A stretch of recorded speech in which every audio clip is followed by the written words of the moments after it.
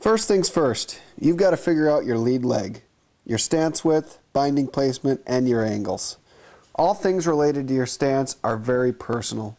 You may experiment and adjust your stance until you find what works best for you. But to help you get started, there are a few simple things you can do. Let's start with your lead leg. If you surf, skateboard, or wakeboard, you already know if you're regular or goofy. For everyone else, put on a pair of slippery socks and slide across the wood floor.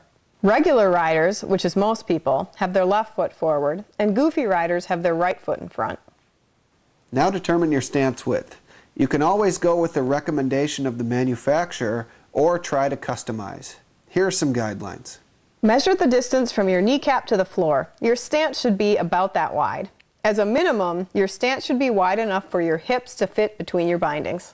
Depending on the type of board and riding goals, your stance will either be centered on the snowboard, as with a twin tip park board, or set back slightly, as with an all mountain board.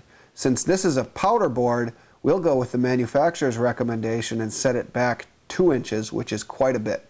If you plan to resell your snowboard, it's a good idea to place rubber gasket between the top sheet and bindings. You can pick this up at your nearest hardware store.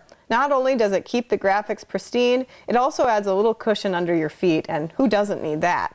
Simply trace, cut, and place under each binding. Now down to business. Measure your stance width on the inserts that are on the board.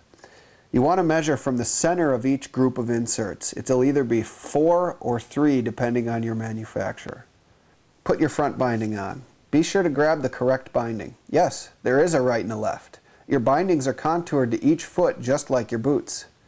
To make it easier, the spiky plastic strap is usually on the outside. Now put the back binding in place and measure from center to center to make sure your width is right. Line up the holes in your base plate with the insert pattern so that each hole has its very own insert.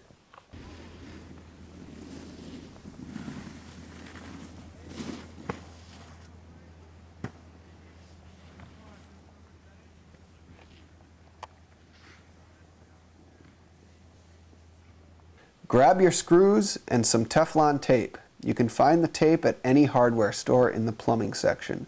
Wrap the Teflon tape around the threads of each screw. While this step isn't mandatory, it will help the screws stay tight, and that's a good thing. Drop a screw in each hole and with your Phillips number 3, screw it in until it just begins to grab. Now it's time to add some angle. No one should have a zero degree stance. Never. At zero degrees, your feet are more likely to hang over the side and get in the way. Also, it's very hard to get enough flexibility to work the board. Don't believe me? Stand with your feet dead ahead, about hip width apart, and go into a deep squat. It's not so easy. Now try putting your feet in a duck stance. Much better. Angle gives stability and flex. The duck stance you just tried in your squat is a good beginner stance. Grab hold of the high back and crank your front binding 12 degrees. That's four notches over. Rotate your back binding to about negative 6 degrees or two clicks over. Remember, the screws should be inserted but not tight. Once you've got your angle set, use that number 3 screwdriver and tighten down your screws. Don't crank one screw at a time. Go around in a circle or in a crisscross pattern to make sure everything is nice and even. While it looks ready, you're still not done. You've got to rotate your high backs. Notice how they are currently at an angle. That's wrong. You want your high back to be parallel with the heel edge. This gives you more precise control over your heel side turns by giving more pressure along the full length of the edge and it gives you better flexibility for boning out those tricks. You'll thank me later. Grab a number 2 Phillips and loosen the screws on the sides of the bindings. Grab the high back and twist until it's parallel with the heel edge and tight to the heel cup. Not so fast. You've still got to adjust the straps. Riding without adjusting the straps, that's like running without tying your shoes. Grab your boot and place it in the binding. Tighten the straps. If the straps look tight without too much extra stuff hanging off, then lucky you. You're all done. If not, Use a number 2 screwdriver or your hands and loosen the straps on the side. Slide it forward or back so that your straps cup the boot nicely. Follow the instructions on your bindings since each model is a little different.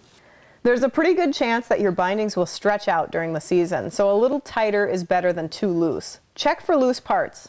Try everything on to make sure things fit right and tight. Bend your knees and flop around to make sure the stance is comfortable. It's better to adjust now than on the hill while your friends are all waiting and a 10 below zero wind is raging on your bare hands. If things feel good, you're ready to ride. Congratulations, you just mounted your own snowboard.